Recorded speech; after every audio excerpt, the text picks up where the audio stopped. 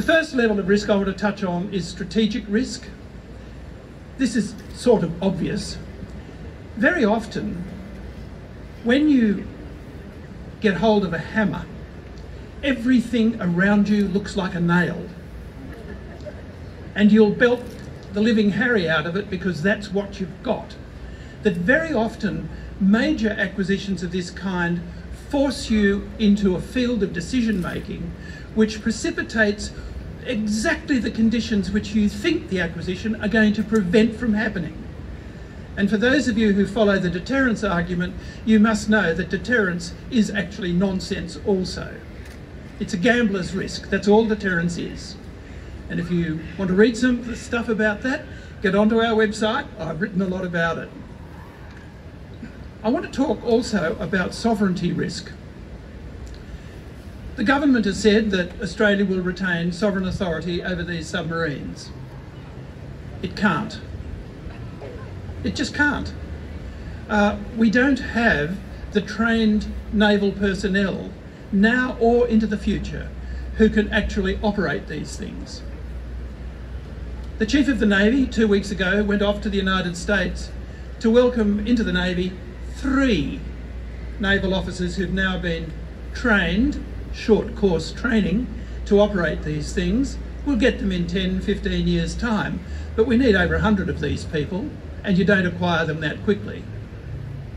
So we won't be able to operate these as a sovereign entity. They will always be under the sovereign control of whoever is the original owner, probably the United States in this case, perhaps Britain if we ever do something in parallel with the Brits. I might say the British submarine that they're building now was laid down at roughly the same time as Collins was laid down. Collins finished in 2003. The Brits are still going with theirs. Um, th that is the case. Astute was down at about the same time as Collins. So if we get in bed with the British, well, all of us will be celestial harpists by the time any of that comes to fruition. But don't take any courage from that uh, it'll fall over anyway. I want to talk briefly about industrial risk. We have quite strong industry in Australia, uh, but we don't have nuclear industry. For a long time, we've taken very clear decisions in Australia, right across the political spectrum, not to have a nuclear industry here.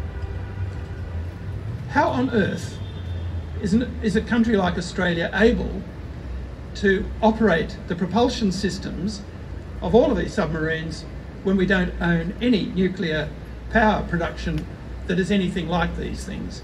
They run on highly enriched uranium, by the way. We don't have any here, we don't produce it, and as I'll come on to, there's a lot of risk in dealing with it when you're finished with it. I want to touch on operational risk. The Collins class submarine comes in just around 4,000 tonnes. These things come in around 10,000 tonnes. Now that's a displaced weight. They're not twice as big, they just displace two and a half times the amount of water, but they are much bigger.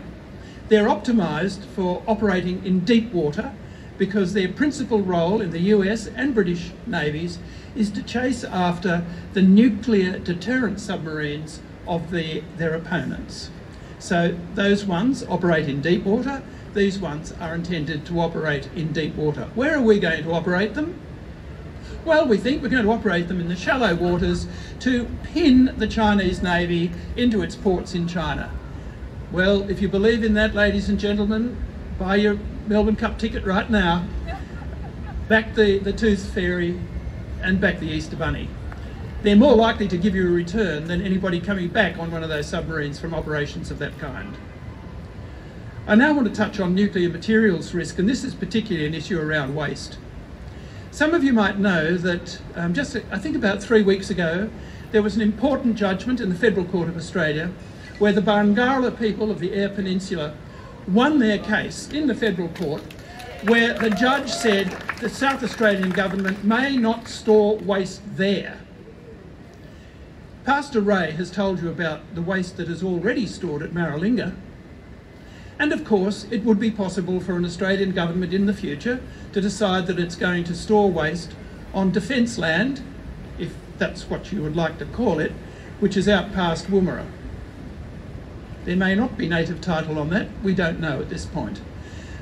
But I would make the point that we have no capacity at the moment to store high grade uranium waste in Australia, nor does America.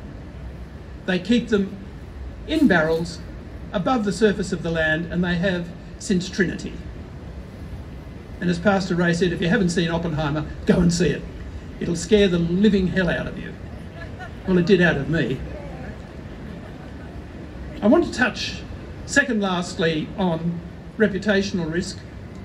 I've spent a lot of my career working with the countries of Southeast Asia.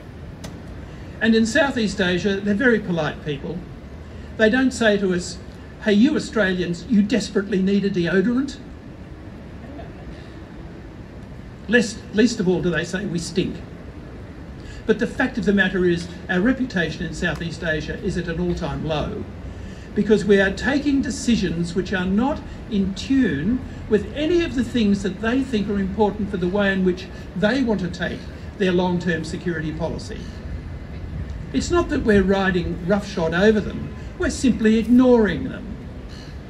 And the reputational risk from that is really high. You don't do things like that just because you're acting on a whim.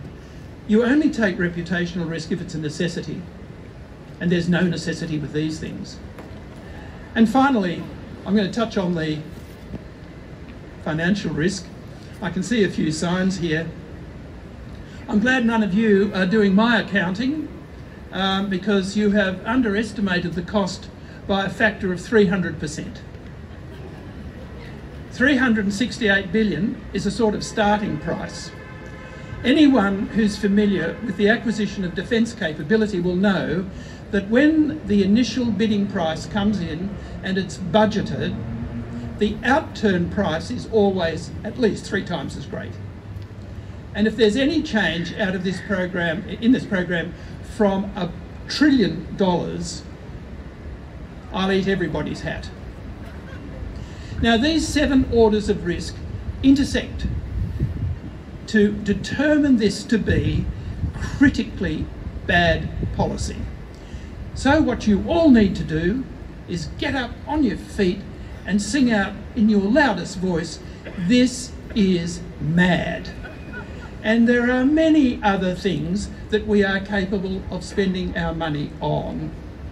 Whether it's early child care, whether it is education, whether it is aged care, whether it is national infrastructure, whether it is public transport systems in all of our city, whether it's improving the sewage systems of our expanding cities. Any number of trillions of dollars can be spent on all of you rather than spending it on the submarine construction yards of the United States and Britain. So I would conclude by saying, as a decision, AUKUS is antithetical to our strategic interests it's antithetical to all of us and it's antithetical to the human race. And if there are any pro arguments for AUKUS, I now would love to hear them. Thank you all very much.